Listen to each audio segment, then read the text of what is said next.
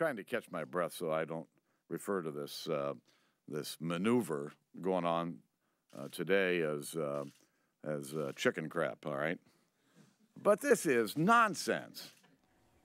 It is colorful and it is downright smelly on Capitol Hill as the tax debate unfurls. Yes, and I like how he tried to hold back just a little bit, but we never hold back here. Top line starts right now.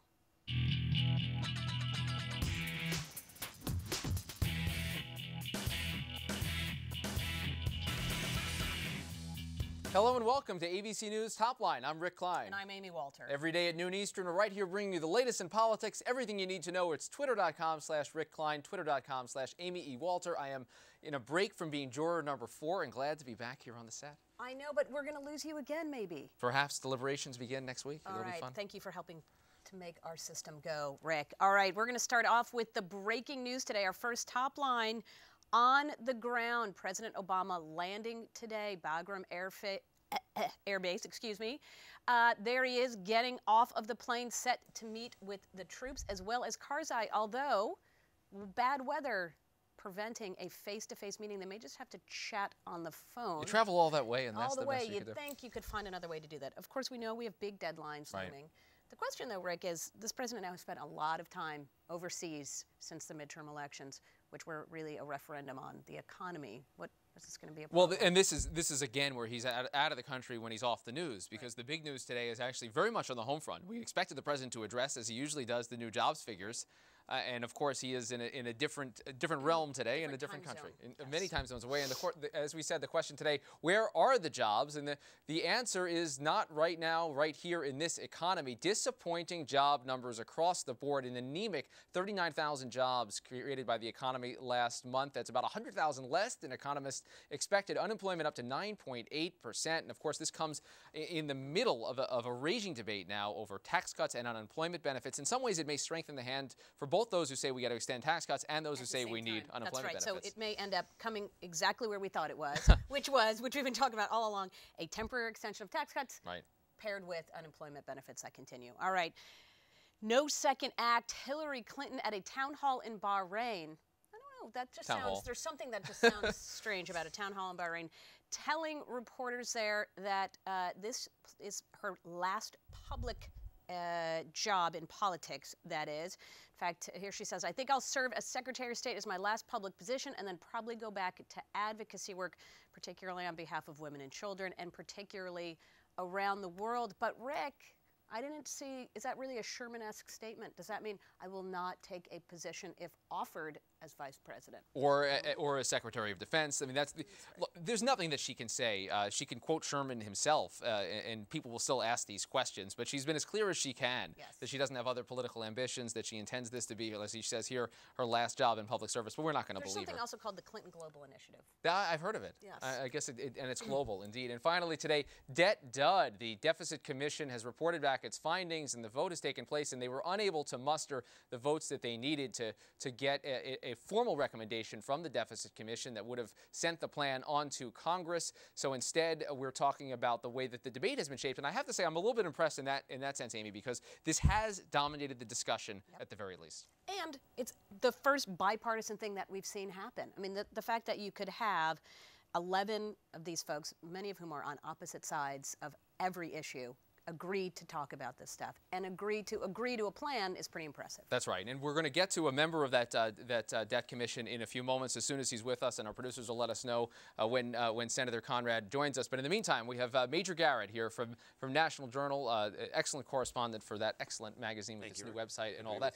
And Major, let's let's start actually with Afghanistan. This is, as Amy mentioned, the President uh, spends spent a good amount of time out out of the country. What's the thinking behind a trip like this at a time like this? Well, remember, the president has a crucial review this month of his Afghanistan policy, which will become 12 months old at the end of this month. And that review is going to be his response to the criticism from the left and even some beginning to see criticism on the right that the strategy, though well intentioned, is simply not producing results fast enough. So he wants to go to Afghanistan, talk with everyone personally. He would have much preferred to see Hamid Karzai face to face and say, listen, we are partners in this one way or the other. And I need some things from you, you need some things from me, and solidify that person to person contact. So when he comes back and does the review and then announces the results of that review, he can do some do so with a higher degree of credibility about what he has agreed to with Karzai, what are the areas of disagreement, and how they go forward. Because I think, as a practical political matter, there are six to nine more months the president has before those within the left wing of his party become increasingly agitated about the direction of this policy.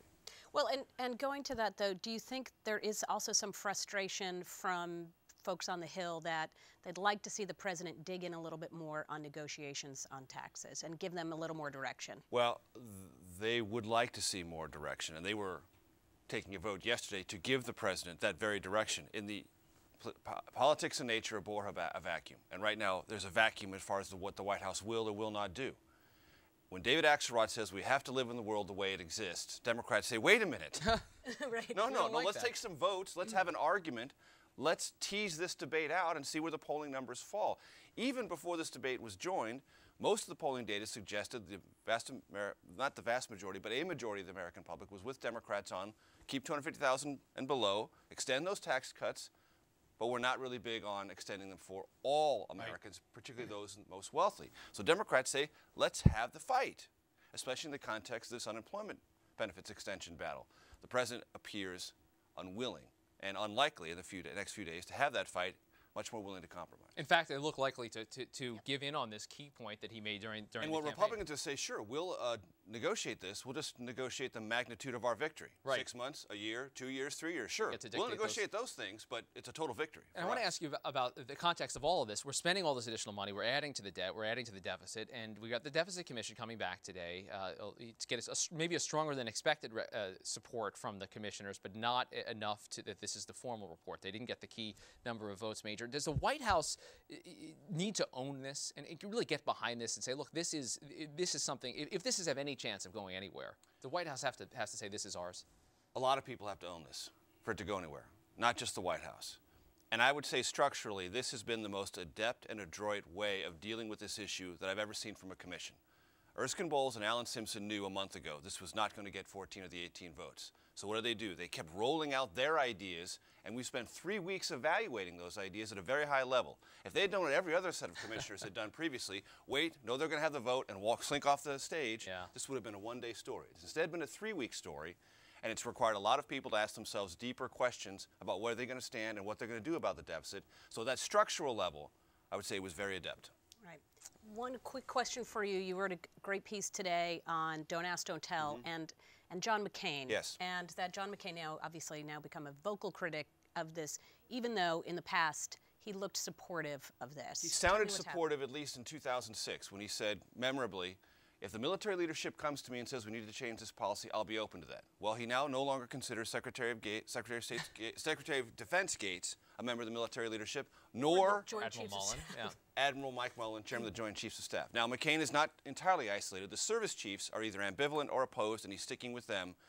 But McCain is the principal reason this is not moving forward in Right. the Senate. And until he moves, it's a dead issue. All right, Major Garrett from National Journal. We appreciate you being with us. Thank you very much for having me.